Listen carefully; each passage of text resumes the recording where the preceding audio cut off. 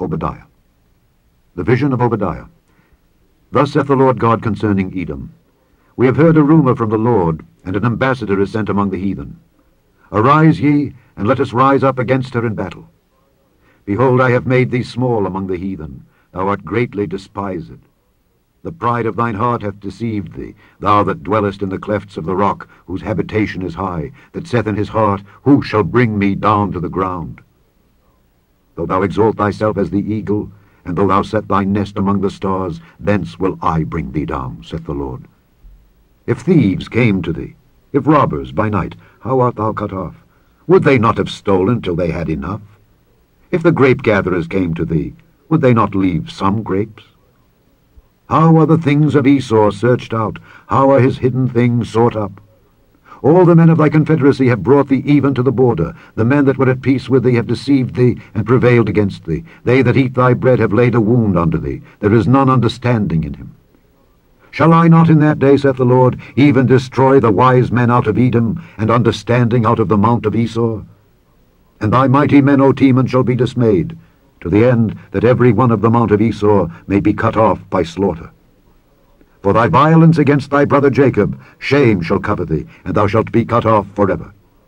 In the day that thou stoodest on the other side, in the day that the strangers carried away captive his forces, and foreigners entered into his gates, and cast lots upon Jerusalem, even thou wast as one of them. But thou shouldest not have looked on the day of thy brother in the day that he became a stranger, Neither shouldst thou have rejoiced over the children of Judah in the day of their destruction. Neither shouldest thou have spoken proudly in the day of distress. Thou shouldest not have entered into the gate of my people in the day of their calamity. Yea, thou shouldest not have looked on their affliction in the day of their calamity, nor have laid hands on their substance in the day of their calamity. Neither shouldest thou have stood in the crossway to cut off those of his that did escape. Neither shouldest thou have delivered up those of his that did remain in the day of distress. For the day of the Lord is near upon all the heathen. As thou hast done, it shall be done unto thee. Thy reward shall return upon thine own head.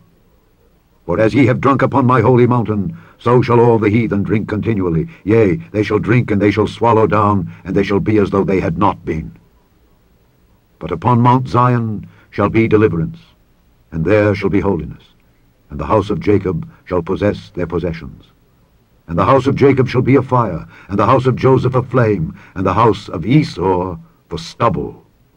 And they shall kindle in them and devour them. And there shall not be any remaining of the house of Esau, for the Lord hath spoken it. And they of the south shall possess the mount of Esau, and they of the plain the Philistines, and they shall possess the fields of Ephraim and the fields of Samaria, and Benjamin shall possess Gilead and the captivity of this host of the children of Israel shall possess that of the Canaanites, even unto Zarephath. And the captivity of Jerusalem, which is in Sepharad, shall possess the cities of the south. And the Saviors shall come up on Mount Zion to judge the mount of Esau, and the kingdom shall be the Lord's. The end of Obadiah.